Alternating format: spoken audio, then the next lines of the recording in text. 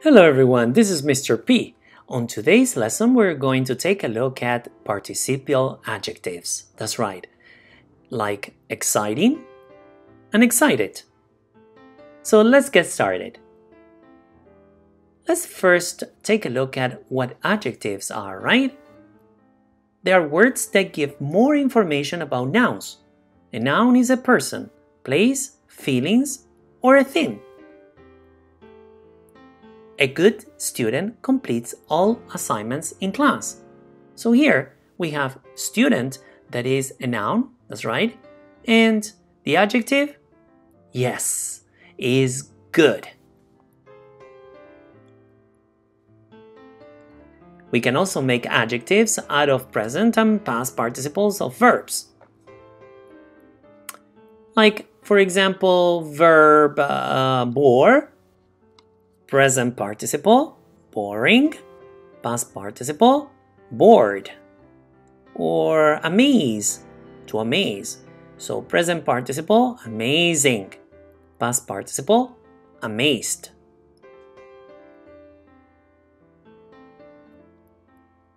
How do we use present participles?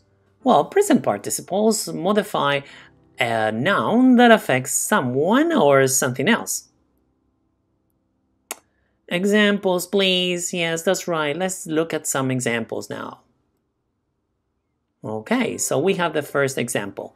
His job is frustrating. Okay, his job is frustrating. A frustrating job. Yes, that's right. Another one.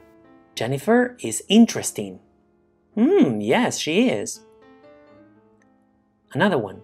The atmosphere was relaxing a relaxing atmosphere. Okay, so that's the present participles. So, how do we use past participles? Past participles modify a noun that is affected by someone or something else. Yeah, that's easy. Let's take a look at some examples.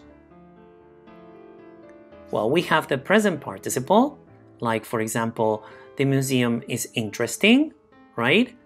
Work is tiring. The movie is exciting. Okay, with present participles. How about if we want to use past participles? Well, you can say, The museum is interesting. I'm interested. Okay, so work is tiring.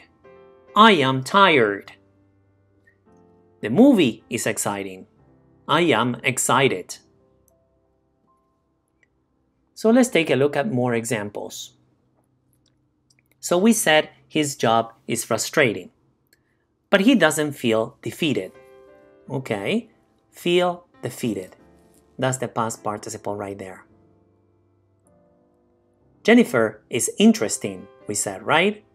And I'm captivated by her. Captivated is your past participle. Another example.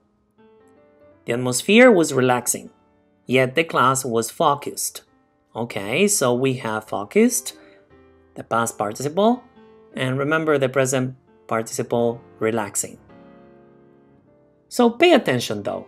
Some past participles do not end in ed. They are irregular past participles, like for example, we can say a stolen car, or broken heart, hidden treasure, or grown son. So let's look at another example. Yes, the teacher is boring. Oh my god. And the students, yeah, the students are bored. Look at them. They're sleeping, they're yawning. Yes, they're bored. So we said the teacher is boring and the class is bored. Yes, because the teacher is boring, the students feel bored. Yeah, well, now it's better. So now let's do some practice. Correct or incorrect? Write down the sentences that you think are incorrect and try to correct them. I'll give you 5 minutes. Pause your video. Now that you have your answers, let's take a look at the key.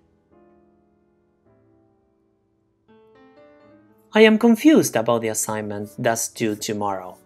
It was that I am confusing. No, I am confused. Number two is correct. The boy was embarrassed. Number three is incorrect. Marine biology is a fascinating subject, not fascinated subject. Number four, incorrect. Space is an interesting place. So, interesting, not interested. 5, 6, and 7 were correct, and number 8 was incorrect. So I was shocked. No, I was shocking. I was shocked when I heard the news. Well, that's it for today. If you have any questions about this lesson, please post your question under the video. If you haven't subscribed to my channel, please do. If you liked the lesson, hit on the like button please, and you may share the lesson with your friends. Until next time, bye bye.